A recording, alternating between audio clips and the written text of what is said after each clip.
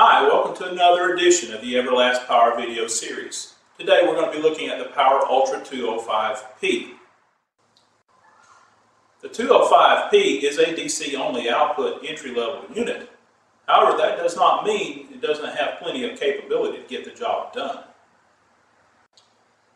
With a pulse TIG, stick, and plasma function, the 205P has more than enough to get you through the average repair. The Power Ultra 205P process machine as we discussed, this carries a 200 amp TIG, 160 amp stick, and a 50 amp plasma cutter, all combined into one unit. To improve the versatility of the 205P, we've added 120 240 volt dual voltage operation.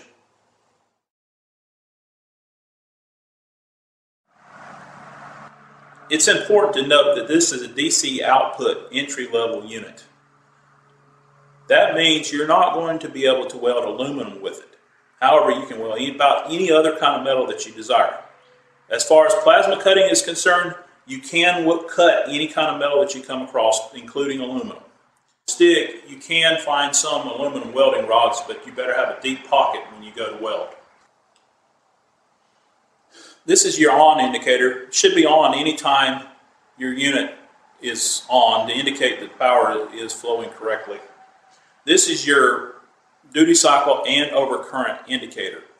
Now depending on what has happened, uh, this unit will interrupt the welding and the light will be on uh, if you ex experience a duty cycle problem or you have a overcurrent situation.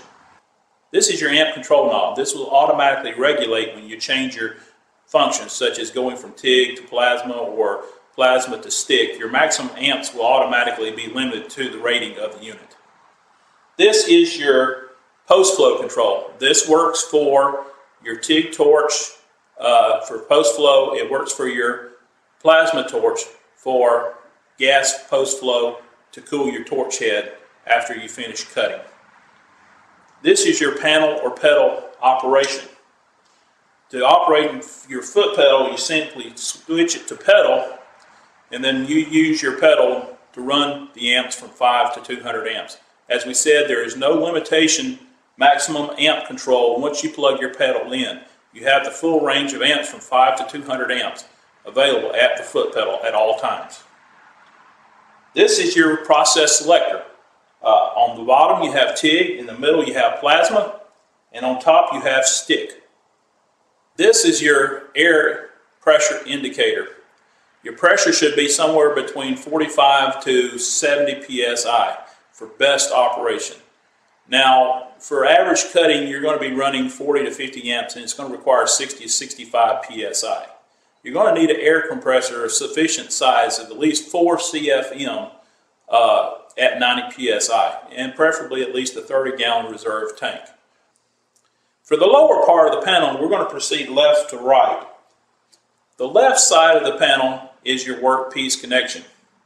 Now this is where your work clamp will go for TIG and plasma operation.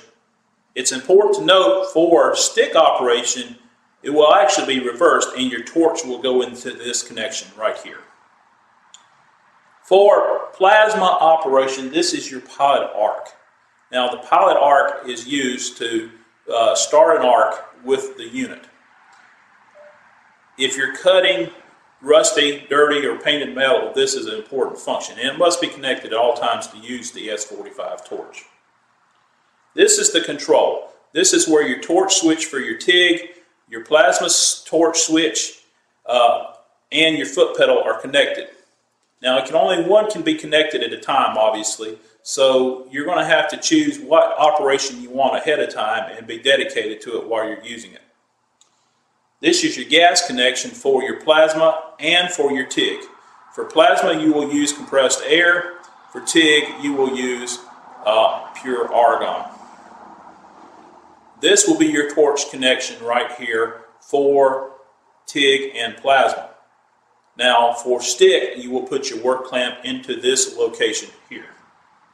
Controls are simple, and the unit is fairly easy to set up. But we're going to go over a few of the features anyway so that you get a better idea of what you're going to be getting when you get the product so you can get started right away.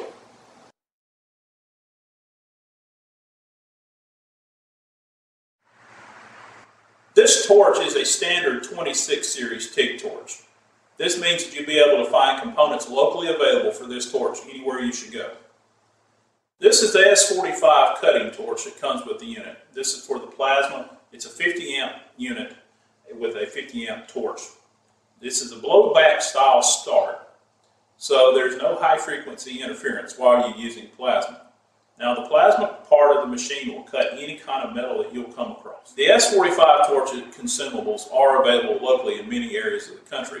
If you can't find them locally, you can find them available online. They interchange with several name brand uh, companies' torches. So this should not be too big of a problem finding consumables at your local supply store.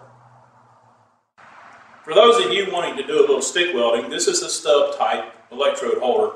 This is not the conventional tong type, but this allows you to work well with pipe or any other kind of material.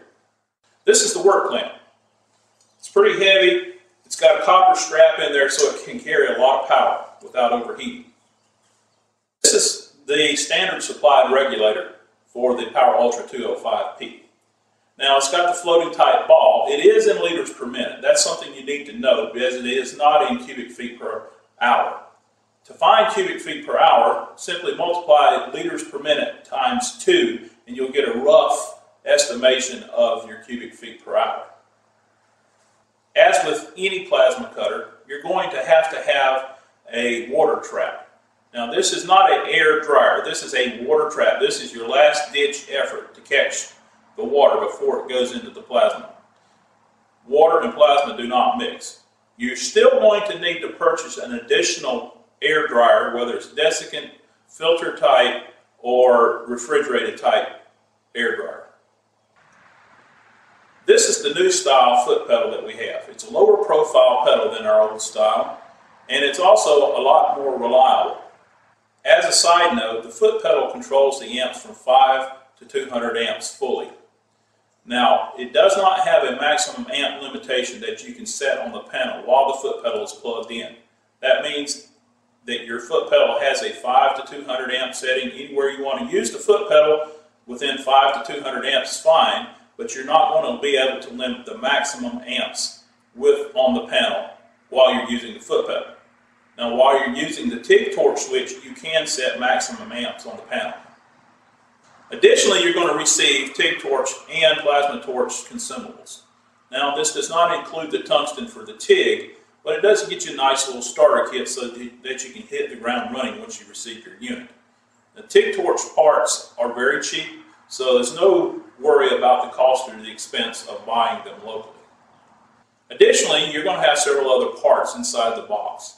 They're going to range from bags, hoses, lines, clamps, uh, and you're going to find a few of your plasma consumables, screws, fuses, and different items that you're going to need to successfully operate your plasma cutter or your TIG.